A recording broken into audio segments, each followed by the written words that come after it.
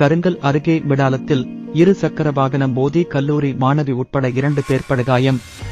கன்னியாகுமரி மாவட்டம் கருங்கல் அருகே பாலூர் பகுதியைச் சேர்ந்தவர் ராஜரத்தினம். இவரது மகள் பியூலா. மங்களக்குன்றில் உள்ள மகளிர் கல்லூரியில் காம் படித்து வருகிறார். நேற்று பியூலா வழக்கம் போல் இரு சக்கர வாகனத்தில் கல்லூரிக்கு சென்றார். மாலையில் கல்லூரி முடிந்து தோழி ஒருவரை இரு சக்கர வாகனத்தில் ஏற்றிக்கொண்டு பேருந்து நிறுத்தத்தில் இறக்கி விடுவதற்காக புறப்பட்டார்.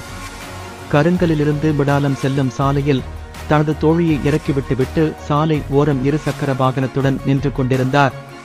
அப்போது அதே சாலையில் உதயமார் தாண்டம் பகுதியைச் சேர்ந்த அருண் நண்பர் லிலிஸ் உடன் வேகமாக ஓட்டி வந்த இருசக்கர வாகனம் திடீரென்று மாணவியின் இருசக்கர வாகனத்தின் மீது பலமாக மோதியது.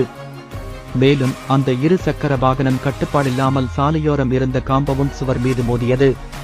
இந்த விபத்தில் பியூலா வினிஷ் ஆகியோர் படுகாயம் அடைந்தனர். இருசக்கர வாகனத்தை ஓட்டி வந்த அருணுக்கு லேசான காயம் ஏற்பட்டது. பியூலாவும் வினிஷ் மீட்கப்பட்டு கருங்கலில் உள்ள ஒரு தனியார் மருத்துவமனையில் சிகிச்சை பெற்று வருகின்றனர்.